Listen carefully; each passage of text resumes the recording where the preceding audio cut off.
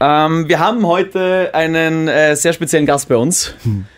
Aber ich fange mal anders an. Ich habe äh, 3000 Follower auf Instagram. Und ich denke mir, okay, ist nicht schlecht, ist okay.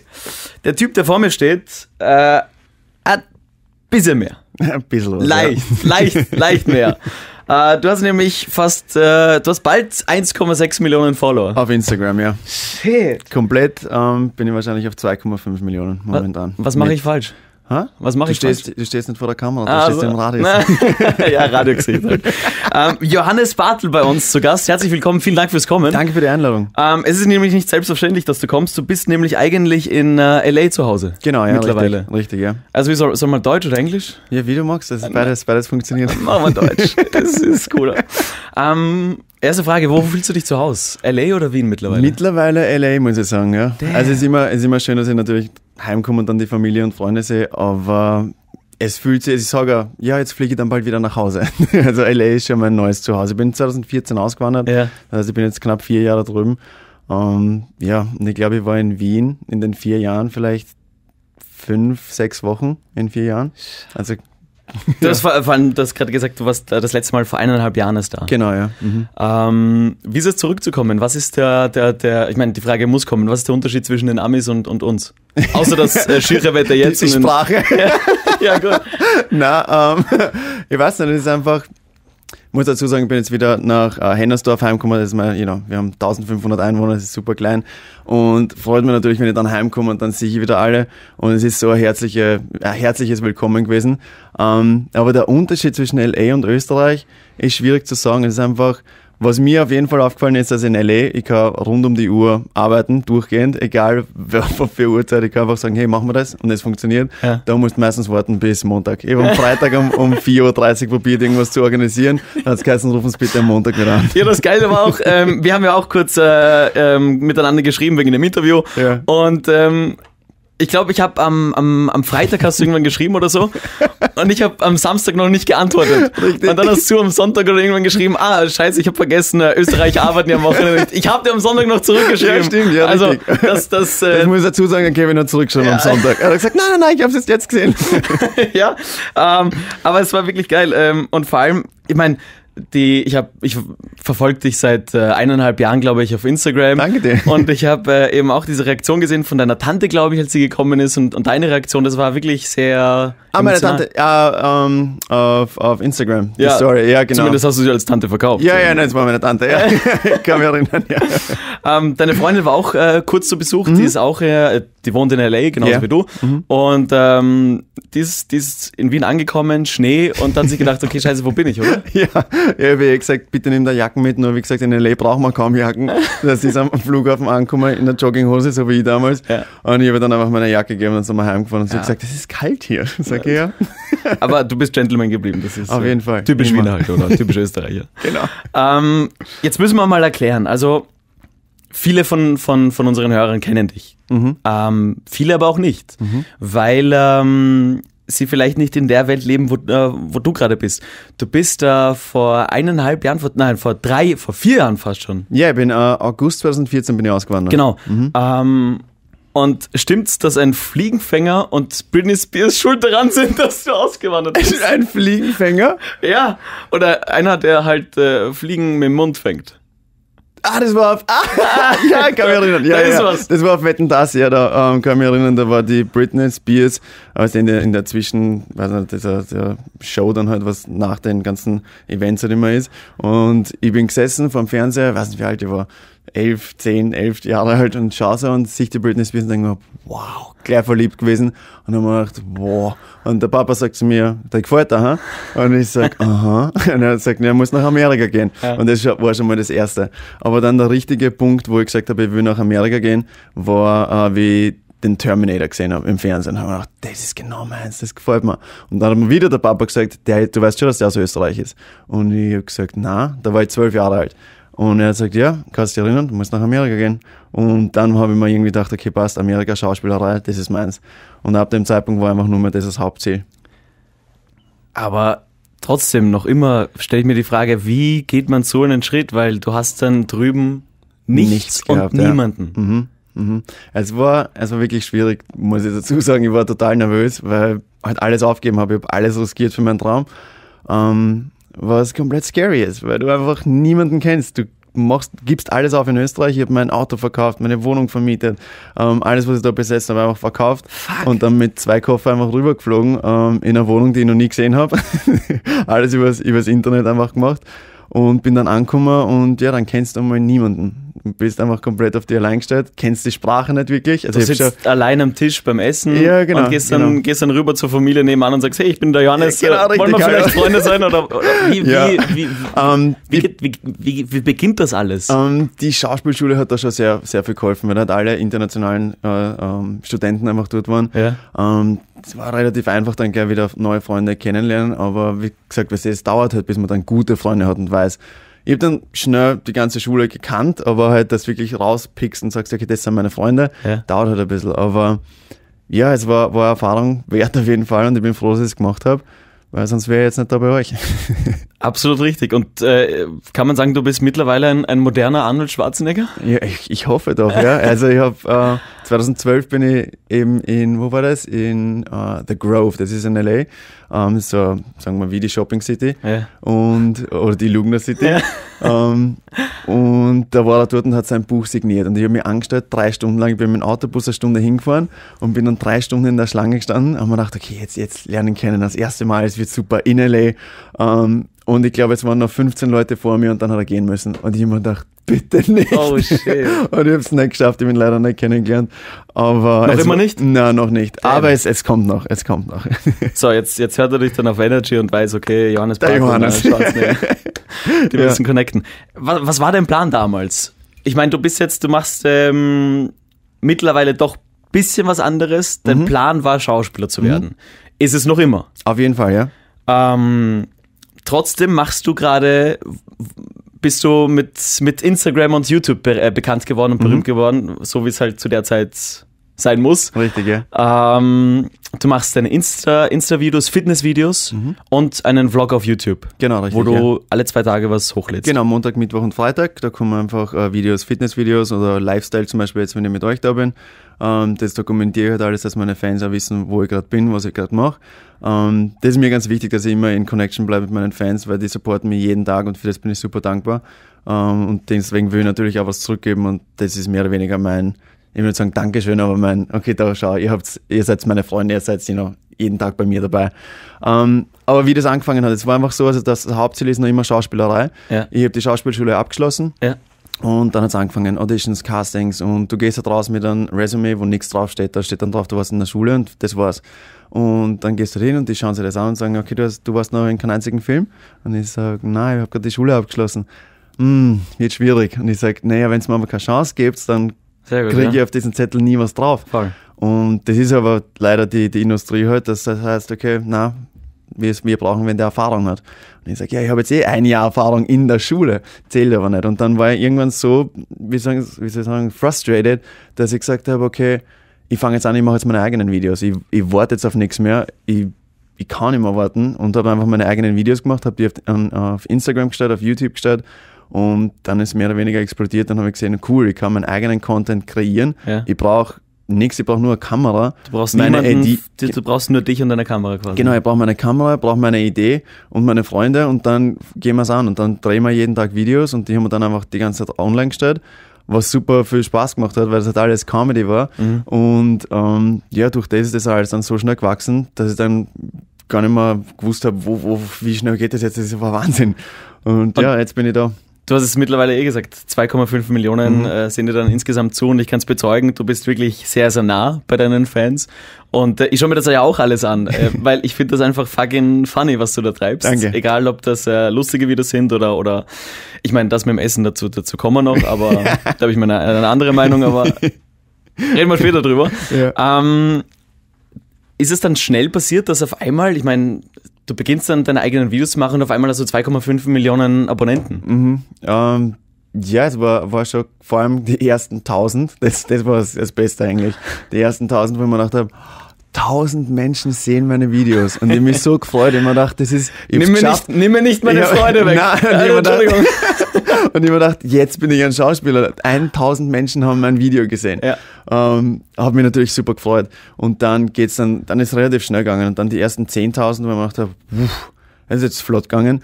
Ähm, aber dann habe ich mich natürlich nur mehr auf die Videos konzentriert und die Zahlen mehr oder weniger ich will nicht sagen vergessen, natürlich schaust drauf, aber es ist nicht wichtig für mich jetzt, dass ich sage, yes, jetzt, jetzt bin ich glücklich. Ich bin happy, wenn ich mir die Kommentare durchlese und dann die Leute wirklich ein positives Feedback oder mhm. ja, zeitweise auch negatives sagen, das hat mir nicht so gut gefallen oder ja. hey, das war total witzig oder da du, das ist ein echt cooles Workout oder was auch immer. Wenn ich sicher kann, ich kann den Leuten äh, einfach nur ein Schmunzeln aufs Gesicht bringen oder das sagen, hey, das, das Workout war so cool, ich habe das selber gemacht, ich fühle mich viel besser jetzt das ist was, was, was mich wirklich motiviert, wo ich sage, okay, da will ich weitermachen. Und der Jan ähm, kann das auch bezeugen, weil gestern habt ihr noch eine lustige Story miteinander gedreht und äh, es war halt Schneeregen und er wollte einfach nicht mehr ins Fitnesscenter, aber du kamst mal wieder mit deiner Motivation her, wo, woher auch immer, und dann steht sie dann wieder im Fitnesscenter, ja, oder? Genau, ja. So war's doch. So war's. Ja.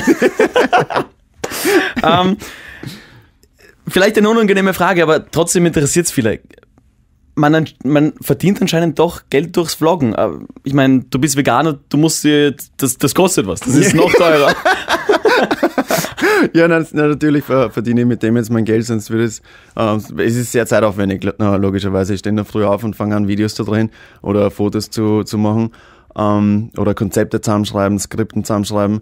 Und du kannst es so sehen, wie ich bin jetzt mehr oder weniger ein kleiner, weiß ich nicht, Fernsehsender, weil du kannst ja jeden Tag gratis draufschauen. Ja, aber und mit dem zum Beispiel YouTube schaltet natürlich dann Werbung drauf. Das wollte ich fragen. Genau, YouTube schaltet Werbung drauf und durch das kriegst dann halt Geld. Aber kommt der YouTube auf dich zu und äh, sagen die oder du fragen wirst, die dich? Du wirst ein YouTube-Partner. Also ab ein, äh, ich glaube, die haben das jetzt geändert, die Richtlinien, aber ich glaube, bei 3000 äh, Subscriber brauchst du okay. oder irgend sowas oder 10.000 Views.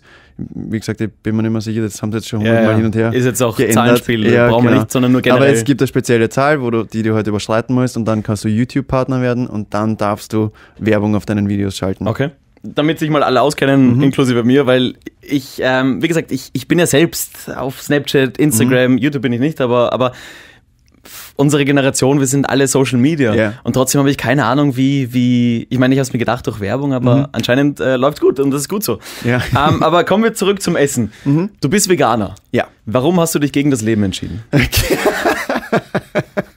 das ist eine gute Frage. Ähm, ich war wie alt war ich da? Also bevor ich nach, also es war glaube ich 2013, ja genau, bevor ich nach LA gegangen bin, habe ich mir eingebildet, ich muss mir jetzt richtig auftrainieren ähm, und habe extrem viel Fleisch gegessen und Eier und Thunfisch und so die richtige Bodybuilder-Diät gemacht mit Reis und Erdäpfel und, und Proteine. Ähm, Schön. Jeden Tag. Super. Und da habe ich mich rauftrainiert auf 90 Kilo. Wow. Und, aber halt wirklich lean, komplett geschreddet gewesen. Ähm, gut ausgeschaut, aber ich habe mich nicht mehr wohl gefühlt. Also mhm. ab einem gewissen Zeitpunkt war es dann so, ich habe jeden Tag 6000 Kalorien gegessen mit Shakes und das alles halt. Ich habe nicht mehr gut geschlafen, ich habe mich nicht mehr wohl gefühlt. Jetzt, dann, weiß, jetzt weißt du, wie es dem Mani geht. ja. Und dann war einfach der Zeitpunkt, wo ich gesagt habe, ich mag nicht mehr, ich mag irgendwas anderes machen und ich stehe extrem auf Challenges. Also wenn mir irgendwer challenged für was, was Sinn macht, nicht ja, hupf da runter, sondern irgendwas, was Sinn macht, ähm, da, da springe ich ganz drauf an, das, ist, das taugt mir. Du meinst, ich soll dich heute noch challengen? Ja, das wäre gut. alles klar, kein Problem. Können wir machen. und da habe ich mich einfach selber gechallenged für äh, 30 Tage ähm, vegane Diät. Habe das gemacht, habe 15 Kilo verloren in einem Monat, weil ich mich nicht auskannt habe. Habe einfach nur halt Gemüse und halt Salat gegessen, weil ich glaubt habe, das ist alles. Ja. Ähm, und nach einem Monat habe ich gesagt, nein, das, das ist nichts für mich, das brauche ich nicht. Habe mir eine Pizza bestellt und habe die Pizza nicht essen können mein Körper hat es nicht, nicht überhaupt nicht. Ich habe es gerochen, gesagt, bah, das riecht komisch, riech mal. Aber mein Freund hat das dann gekostet und sagt dann, na, ist ganz normal, schmeckt gut. Ich habe reinbissen und ich hätte mich fast übergeben müssen. Was zum Teufel? Und dann war es für mich einfach dieses, der Zeitpunkt, wo ich mir gedacht habe, okay, vielleicht hat sich mein Körper jetzt schon umgestellt, ich will mehr wissen. Und dann hat es wirklich angefangen, Bücher kaufen und Dokus anschauen. Ähm, das, das erste, was ich gesehen habe, glaube ich, war ähm, Forks over Knives. Und da sagen sie ganz genau, wie sie die Tiere behandeln und was es in, in deinem Körper macht. Und da habe ich persönlich für mich einfach entschieden, das ist meine persönliche Entscheidung, ich mag das nicht mehr machen. Aber ich bin jetzt nicht so, dass ich sage, okay, wenn du jetzt da ein Steak isst, stört mir das nicht. Okay. Also, ja. Warte, ich, äh, meine Käseleberkäse wird sonst ja, kalt. Ja, ich muss genau, schnell. Ich hab's jetzt gesehen da drüben. ähm, wir kommen zu der, zu, zum äh, Finale. Mhm. Noch, äh, ein paar Fragen haben wir noch. Mhm. Ich bin letztens in der Stadt rumgelaufen und ja. habe ähm, ein Live-Video gemacht. Mhm. und ich habe es zum ersten Mal draußen gemacht. Und ich fand es sehr, sehr lustig, dass du das letztens angesprochen hast in deinem Vlog. Ähm, wenn man in Österreich mit dem Handy oder mit einer Kamera vorm Gesicht rumgeht. Ich weiß ganz genau, welchen Vlog du meinst. Der war vor einem Jahr, oder? Ja. Den, wo ich bei Merko war. Genau. Ja. dass sich die Leute deppert anschauen. Ja. Und ich bin in der Stadt rumgelaufen und mir hat es dann immer mehr gefallen, weil ich, ich fand es einfach lustig und äh, meine Videos sind ja generell sehr, sehr lustig. Ja. Aber, aber, Das habe ich hab- gehört, ja. aber ich habe gemerkt, ähm, okay, fuck, diese Blicke, das ist so unangenehm. Du bist Vlogger, du filmst quasi alles. Mhm. Ist dir das mittlerweile schon wurscht oder gab es auch bei dir diese, also es ist so eine, ist so eine Hemmschwelle. Ja, am Anfang war es schon komisch. Also ich muss dazu sagen, die, wie ich das erste Mal eine Kamera in die Hand genommen habe und habe es dann einfach genau vor mir hingehalten und dann redst du mit dir selber oder Ja. mit deiner Hand eigentlich. Ist schon komisch. Vor allem, wenn du dann denkst, ah, was sage ich jetzt eigentlich, weil ich rede ja nur mit mir selber. Ja. Ähm, und ja, war witzig. Vor allem in LA muss ich dazu sagen, es machen so viele, dass es schon gang und gäbe ist, es ist komplett normal. Das heißt, die Leute wissen, ah, okay, der macht halt Videos. Ja. Ähm, in Österreich ist es noch ein bisschen anders, aber ich verstehe es auch, weil es gibt halt wenig, die da rumlaufen und dann mit sich selber reden. Ja, ich sage, dir, ich bin da rumgelaufen und das war wirklich, das war im Graben, wo, wo die meisten Leute noch dazu sind. Das ist so wirklich, ich, habe mir gedacht, fuck, was machst du eigentlich? Hör auf mit diesem scheiß Live-Video. aber gleichzeitig war es halt lustig und, und, und ich habe aber gemerkt, von links, von rechts, von vorn, sogar die Blicke hinten habe ich gespürt. ähm, es schaut dich einfach jeder Deppert an. Ja, ja. Aber das Ähm, macht ja nichts. Also, du, es dauert noch ein bisschen wahrscheinlich, bis dann mehr anfangen und dann wird es auch normal werden, aber ich finde es ich find's lieb eigentlich. Ja, ey. Also mittlerweile stört sich auch nicht, das ist, das Überhaupt ist nicht. Na, na. Wie viel Zeit verbringst du auf Social Media? Eigentlich den ganzen Tag. Also die einzige, die fünf, sechs Stunden, was ich schlafe, bin ich nicht online Ja. und sonst ja, bin den ganzen Tag eigentlich online, dass ich irgendwo jetzt auf Twitter bin oder auf Instagram, Facebook, YouTube, Snapchat. Jetzt habe ich angefangen auf Twitch. Ähm, ja, habe ich mitbekommen. Das, das, ähm, da bin ich, ah, das, ist komplett neu für mich jetzt zum Twitch Beispiel. ist, also in Österreich kennt das kein Schwein. Gar nicht? Na. Okay. Also glaube ich zumindest. Okay. Ich kenne es von euch, von, äh, von deiner Freundin, von dir, aber sonst glaube ich, ich habe den Namen Twitch, also der, unser Morgenshow-Bruder, der Alex, nickt mir zu. Du hast es schon gehört? Ja, sicher, Ah, fuck. ich- Streber. Er hat sich schon vorbereitet, Na da weiß ich gut, ganz anscheinend genau. Wirklich. Hast du dir meine- Vorbereitung gemacht oder was? Ah, scheiße, gut. Hast, hast rausgestrichen. Gut, lass mal, hör mal auf mit dem fucking Hilfe. ähm, nein, ähm, wie nervig ist es? Was meinst du? Die ganze Zeit auf Social Media, oder? Das ist überhaupt nicht nervig. Ist Also es für nicht? mich, ähm, ich verstehe es manche, zum Beispiel meine Mama, die sagt, sie mag das nicht dauernd am Handy picken. Und das, ich, ich, andere Generation. ja, und äh, ich verstehe es auch. Nur für mich ist es einfach so, es ist überhaupt nicht nervig. Ich bin so dankbar, dass ich das machen darf und machen kann, dass ich, weil ich gesehen habe, was das mir alles ermöglicht hat, Voll. dass ich meinem Traum einfach immer näher komme. Und ich weiß, dass ich jetzt viel, viel, viel näher bin, an dem Traum Schauspieler zu werden, als vor einem Jahr, vor zwei Jahren. Und jeden Tag komme ich dem, dem Ganzen äh, ein bisschen näher und das dank Social Media. Gute Antwort. Ähm, Felix Sehn braucht äh, zwei Stunden, um ein Bild zu posten. Zwei Stunden, Ab und zu, ja. ja. Wie lange brauchst du? Huh, äh, das kommt auf an, zeitweise. Ähm, ich bin ja relativ einfach, muss ich sagen. Wenn ich, wenn ich einen guten Fotograf habe, wie zum Beispiel in Jan, ähm, da, wann war das? Vorgestern waren wir im Hotel und ich habe gesagt, Jan, machen wir geschwind ein Foto. Und ich glaube, das war das Erste, was wir gemacht haben. Dann haben wir noch, weiß nicht, 15 Minuten weiter fotografiert und ich habe gesagt, ganz ehrlich, das erste Foto war das Beste. Und Ah, dann haben wir das genommen. One shot wonder. Ja, genau. Ja, das, das zeitweise funktioniert. Manchmal dauert es ein bisschen länger, aber meistens bin ich ganz happy mit den Fotos, wenn wir, ja, Ja, bei, bei mir ist meistens so, dass meine Freundin macht dann das Foto. ja. Ich schaue es mir an. Nein, mach noch eins. Nein, mach noch eins. Lass mal sein. Du hörst dann gleich auf, sagst, na, drei, hm, das ist genug, das passt. Das funktioniert nicht. Ähm, kleiner Wordrap, ganz, ganz kurz. Rapid oder Austria? Gut, das ist schwierig. Ähm, ich meine, ich habe im 10. gewohnt, also müsste jetzt eigentlich Austria Austria sein, sagen, ja. oder? Okay, aber, Aber ich war nie ein großer. Aber- ich habe selber Fußball gespielt, Ja. aber ich war nie so für die Bundesliga, dass ich mir das jetzt angeschaut habe. Aber ähm, ja, ich glaube, ich muss jetzt Austria sagen, weil meine ganzen Fußballkollegen von früher waren alle Austrianer. Schnitzel oder Burger? Kommt drauf an, ist vegan? Das war ein Test, Scheiße. Ich dachte, du, Fuck, ich dachte, ich krieg dich jetzt. Na gut, Test bestanden. LA oder Wien? LA. Dirndl oder Hotpants? Oh, Dirndl. Oh, wirklich? Ja. Wirklich? Ja. Ich habe meiner Freundin einen Dirndl gekauft, jetzt wie sie gekommen ist. Weil ich gesagt habe, wenn du jetzt das erste Mal in Österreich bist, musst du eins mitnehmen, also eins kaufen. Das ist eine gute Idee. Ja. Äh, Überrascht mich auch die Antwort. Warum? Naja, Hotbuns, ich meine. Naja, Ist jetzt nicht so schlecht. nein, ich sage nicht, dass es schlecht ist. Okay, ähm, Grande Finale. Ich habe, äh, bevor du gekommen bist, ähm, noch jemanden angerufen. Jetzt bin ich, jetzt bin ich kleiner nervös. Ich bin auch, leicht, leicht nervös bin ich wirklich. Jetzt sag mal schon, wen hast du angerufen? Grüß Gott, schön Hannes Hiller hier. Was kann ich für Sie tun? Erkennst du da was? Na, mach nochmal. Grüß Gott, schön Hannes Hiller hier. Was kann ich für Sie tun? Hiller? Hiller. Johannes Hiller. Das ist mein Klassenvorstand gewesen. Das ist dein Klassenvorstand gewesen. Du hast meinen Klassenvorstand angerufen. Aus dem Sport... Na, warte, ja, Sportgymnasium. Ja. Geil. Ich wollte herausfinden, was, äh, was der über dich sagt. Jetzt bin ich gespannt. Der Johannes Bartel. Sagt Ihnen der Name was? Ja, Moment, wo kommt Bartel? Im Sportgymnasium, oder? Vollkommen richtig, in äh, Maria Enzersdorf. Ja, ja, da hat es einen gegeben. Was ist mit dem? Der ist heute, der ist heute bei mir zum Interview. Der ist ausgewandert nach LA, der Mann. Auch nicht schlecht. Ja, und ist dort Blogger geworden und macht in Hollywood Karriere. Schön. Jetzt wollte ich natürlich Sie fragen, wie war dieser Johannes Bartel früher in der Schule? Puh. Ja, schon langsam kommt da was, ja. Jahrzehnte her. Also, sagen wir so, äh, da hat sich irgendwie ein, ein positives Neuron in meinem Gehirn gemeldet.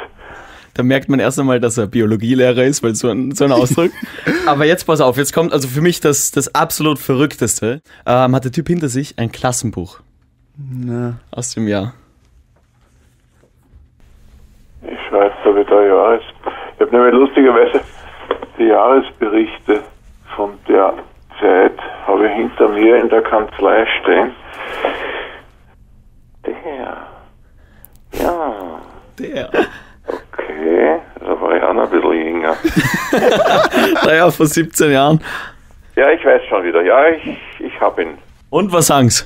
Ja, ja, ja, war, war, gut, war ein guter Mann. Das, ja? das müssen Sie jetzt sagen, er steht ja auch vor mir. Ah ja. Was, was würden Sie dem Johannes Bartel heute gern sagen? Äh, ich würde ihm heute gern sagen, dass er in einer super Truppe dabei war.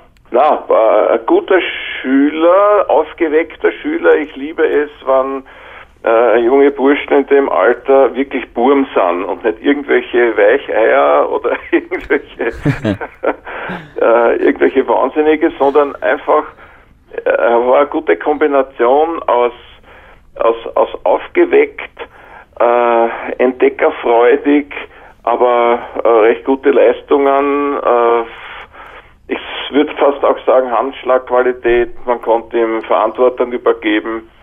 Es war eine gute Truppe. Ich kann Ihnen eins versprechen, so wie der Typ trainiert ist, weicher ist er noch immer keins. das denke ich mal.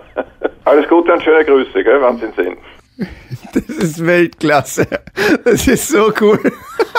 Danke für das. Das ist, das ist echt cool. Also ich bin gerade sprachlos. Also ich bin jetzt gestanden. Das ist, das ist echt cool. Der Johannes Hiller. Ja, was, was hast du für eine Erinnerung an die Schule und an den, an den, äh, an deinen Klassenvorstand? Also, was wirklich ganz, ganz, ganz fest verankert ist da drin, war der erste Schultag in dem alten Gebäude, wo wir die Stiegen raufgegangen sind und er, ja, ich glaube zwei Meter irgendwas, also tut mir leid, wenn ich jetzt falsch bin, aber riesengroß.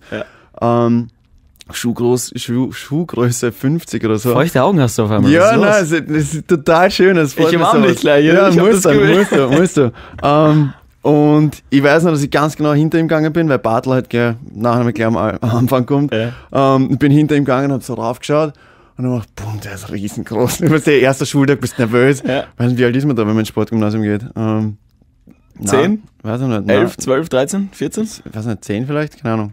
Auf jeden Fall, an das kann ich noch erinnern. Und dann erst hingesetzt und einfach nur raufgeschaut und gemacht, du bist riesen.